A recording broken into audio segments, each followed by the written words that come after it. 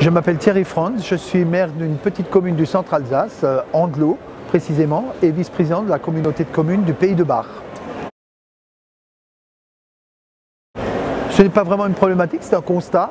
Un constat, c'est faire, du vélo euh, euh, un autre mode de déplacement, un mode de déplacement au quotidien. Ça rentre d'ailleurs dans le programme du ministre Clément Beaune qui, le 15 septembre, nous a incité à son grand programme à vélo. Euh, nous nous sommes dotés d'un équipement, qui donne goût au vélo, qui donne envie dès le plus jeune âge à utiliser euh, cette forme de déplacement, tout simplement en, ayant euh, construit un, pump track. C'est tout simple, c'est quelques bosses avec un peu d'enrobé et, beaucoup de bonne volonté et les enfants prennent un plaisir fou à se rencontrer là-dessus.